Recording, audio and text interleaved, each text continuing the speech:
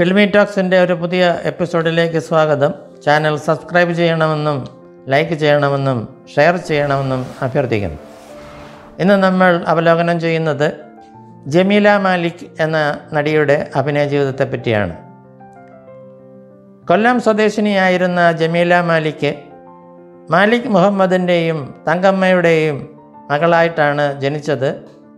ഇവർ ഇന്ത്യ ഗവൺമെന്റിന്റെ Pune film and television ഇൻസ്റ്റിറ്റ്യൂട്ടിൽ നിന്നും അഭിനയ കോഴ്സിൽ ബിരുദം നേടിയ ആദ്യത്തെ മലയാളി പെൺകുട്ടിയാണ്. ജമീല മാലിക് കാഴ്ചയ്ക്ക് സുന്ദരിയും അഭിനയ മികവും ഉണ്ടായിരുന്ന നടിയാണ്. ഇന്ത്യയിലെ ഏറ്റവും പ്രശസ്തവും വലുതുമായ സിനി ഫിലിം ഇൻസ്റ്റിറ്റ്യൂട്ടിലെ പഠനവും ഉണ്ടായിട്ടും ഈ നടിക്ക് ഉദ്ദേശിച്ചതുപോലെയോ ആഗ്രഹിച്ചതുപോലെയോ ഉയരങ്ങളിൽ എത്തിച്ചേരാൻ ഭാഗ്യം ഉണ്ടായില്ല.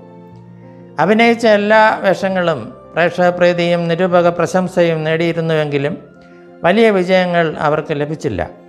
എന്നിരുന്നാലും നായിക ആയോ അതുപോലെ തന്നെ പ്രാധാന്യമുള്ള വേഷങ്ങളിലോ സഹ നടിയായിട്ടോ ഒക്കെ ആയിട്ട് മാത്രമേ അവർ അഭിനയിച്ചിരുന്നുള്ളൂ.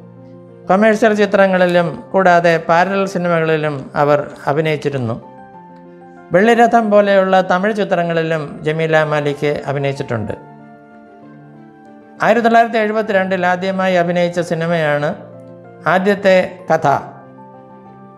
പ്രേംനസീർ ജയഭാരതി ജമീല മാലിക് വിജയശ്രീ എൻ ഗോവിന്ദൻകുട്ടി തുടങ്ങിയവരായിരുന്നു അതിൽ അഭിനയിച്ചത്. റാഗിങ് എന്ന ആയിരത്തി തൊള്ളായിരത്തി എഴുപത്തി രണ്ടിലെ എൻ എൻ പിഷാരടി സംവിധാനം ചെയ്ത ചിത്രത്തിൽ ജമീല മാലിക്കാണ് നായിക. ആയിരത്തി തൊള്ളായിരത്തി എഴുപത്തി നാലിൽ മധു സംവിധാനം ചെയ്ത നീലക്കണ്ണുകൾ എന്ന ചിത്രത്തിൽ Madhu Sukumaran K P S C Sunny Jayabharathi Jameela Malik തുടങ്ങിയവരാണ് അഭിനയിച്ചത്. നിറമാല എന്ന ചിത്രം ആയിരത്തി തൊള്ളായിരത്തി എഴുപത്തി അഞ്ചിൽ പി രാമദാസാണ് സംവിധാനം ചെയ്തത്. അതിൽ രവി മേനോൻ ജമീല മാലിക് സുജാത സുകുമാരി തുടങ്ങിയവരാണ് പ്രധാന വേഷങ്ങൾ ചെയ്തത്.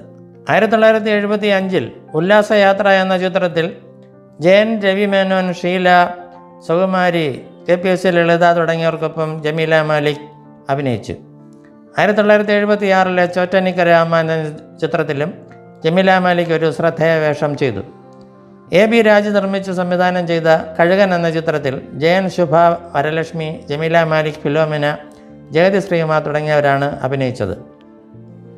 പാണ്ഡാപുരം എന്ന ജി എസ് പണിക്കർ സംവിധാനം ചെയ്ത ചിത്രത്തിലും ഒരു മെയ് മാസ പുലരിയിൽ എന്ന ചിത്രത്തിലും ഉണ്ണിക്കുട്ടന് ജോലി കിട്ടി എന്ന സിനിമയിലും അവർ അഭിനയിച്ചിട്ടുണ്ട്. ആയിരത്തി തൊള്ളായിരത്തി എൺപതിൽ ജയലളിതയ്ക്കൊപ്പം നദിയെ തേടി വന്ന കടൽ എന്ന തമിഴ് ചിത്രത്തിൽ അഭിനയിച്ചു. ശരത് ബാബു ആയിരുന്നു ചിത്രത്തിലെ നായകൻ. ജയലളിത നായികയായി അഭിനയിച്ച അവസാന ചിത്രമാണ് അത്. തൊണ്ണൂറുകളിലെ ഇരുപതോളം ടി വി സീരിയലുകളിലും ജമീല മാലിക് അഭിനയിച്ചിട്ടുണ്ട്. മയൂര എന്ന ഹിന്ദി ചിത്രത്തിൽ മഞ്ജുളയ്ക്ക് വേണ്ടി ഡബ് ചെയ്തിട്ടുണ്ട്. റേഡിയോ നാടകങ്ങളിലും അഭിനയിച്ചിട്ടുണ്ട്. ജമീല മാലിക് സ്കൂൾ ടീച്ചറായും പ്രവർത്തിച്ചിട്ടുണ്ട്. അവർ വിവാഹം കഴിച്ചെങ്കിലും ആ ബന്ധം അധികം കാലം നീണ്ടു നിന്നില്ല. അവർക്ക് ഒരു മകനുണ്ട്. ജമീല മാലിക്ക് രണ്ടായിരത്തി ഇരുപത് ജനുവരി ഇരുപത്തി എട്ടാം തീയതി എഴുപത്തിനാലാം വയസ്സിൽ നിര്യാതയായി.